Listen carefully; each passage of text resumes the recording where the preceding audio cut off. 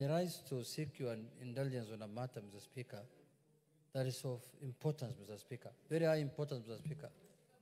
Mr. Speaker, Parliament has been under attack, Mr. Speaker, for quite some time now. From certain quarters, Mr. Speaker, the religious leaders and other groups, Mr. Speaker. Mr. Speaker, we are not here by accident. We are not members of parliament by accident, Mr. Speaker. We were elected by the people of Kenya, Mr. Speaker. Mr. Speaker, some of the positions that are sought after in this country, Mr. Speaker, is to, member of, to be a member of parliament. Every, including religious leaders, contest for these positions, Mr. Speaker. During the elections, every constituency has a minimum of 10 to 15 aspirants, Mr. Speaker. Minimum. Some more, 20, 30. There is one in Kisii that had 45 candidates. You can see, Mr. Speaker, you are, you are right. One in Kisii had 45.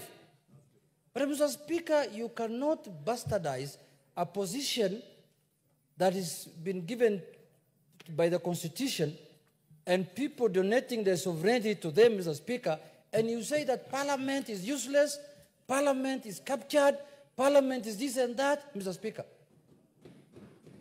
Mr. Speaker, just now, this afternoon, this sitting where we are today, we have just passed almost five bills, Mr. Speaker, that you read the third Very reading. important. Very important bills. Bills on higher education, bills on finance, Public Finance Management Act. All those bills, Mr. Speaker, are being passed in this House to make the lives of the citizens of this country better, to help the governance of this country, to make things easier for the Kenyans so that they can get services from the executive, Mr. Speaker.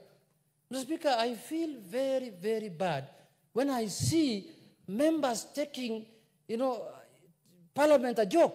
Mr. Speaker, Parliament is a very sacred place. It's not a small place, Mr. Speaker. But if there is no Parliament, there is no country. Because there is no taxation without Parliament. Even the executive cannot collect any money, Mr. Speaker, without Parliament. There is no democracy, as KD has put it.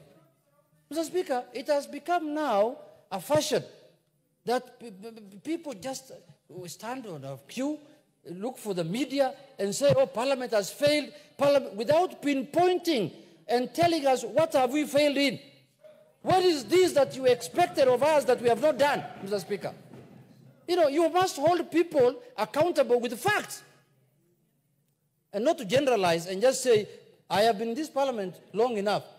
If you are not happy with other aspects of governance, don't throw it to parliament, Mr. Speaker. Yes. And, then- and then also, you cannot blame members of parliament who come from the ruling party why they are supporting their government. People have been elected on parties. Yes. People went to, to be elected on Kenya Kwanza, others went to be elected on Azimio, others went to ODM. Mr. Speaker, you cannot blame a member of parliament from the ruling party. Why is he supporting his government? He made a decision in 2022 to run on that party and to support that government. Mr. Speaker, we, this is the place we need to speak.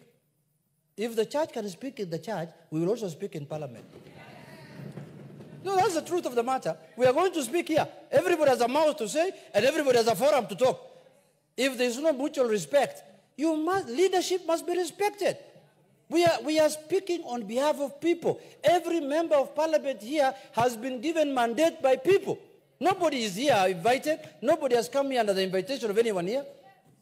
Everyone has been elected. Some of the members here, like the women reps, have come here with over 400,000 votes. They are not, they are, it's not a joke, Mr. Speaker. People don't know how difficult it is to convince 400,000 people to vote for you. People don't know that. Mr. Speaker, people don't know how difficult it is to wake up people at 5 a.m. in the morning to, to queue so that they can vote for you, Mr. Speaker. People don't know that. We respect our religious leaders. We respect them so much because we, they are the people who guide us spiritually. But Mr. Speaker, politics is different from religion. Completely different. If, if you think there's an issue that you're not happy with, as a leader of another sector, a religious leader, or even uh, whichever leadership you, are, you, are, you, you, you, you, you have, Address members of parliament with dignity and decorum. Don't belittle them. Don't make it as though they are nobodies. Mr. Speaker, these are serious people who are passing laws in this house. Laws that are going to be used to govern you, you yourself who are attacking them on, on TV. So, Mr. Speaker, I want to, to ask members here to stand up for their rights. The only institution that does not have a union is Parliament. Other institutions are defended by the unions, Mr. Speaker. We have now to become 416 union members here. And especially people like attacking the National Assembly. Mr. Speaker, this National Assembly has passed under your leadership for the last two years over 100 bills, which have been assented to by the President, which have become laws, which are helping the country. So, Mr. Speaker, in conclusion, I want to say, let us rise up for our rights. We are not going to, to, to now, we are not going to accept this now lying down.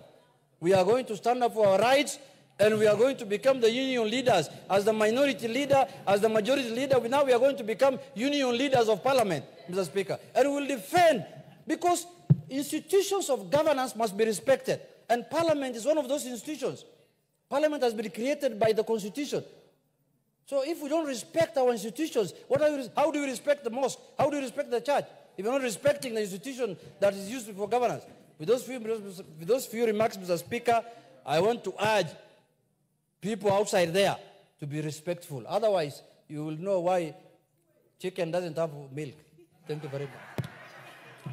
Honorable members, uh, I will uh, allow you, but I also want to point out the leadership of this House, including Majority Leader, Junet, my able deputy, the whips, the chairman and chairpersons of committees, we assembled in Naivasha for a meeting, a roundtable meeting with KEPSA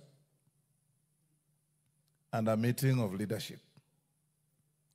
And one newspaper with wide circulation two days ago had a screaming headline that the Speaker of the National Assembly had said that members were stealing money from their bodyguards.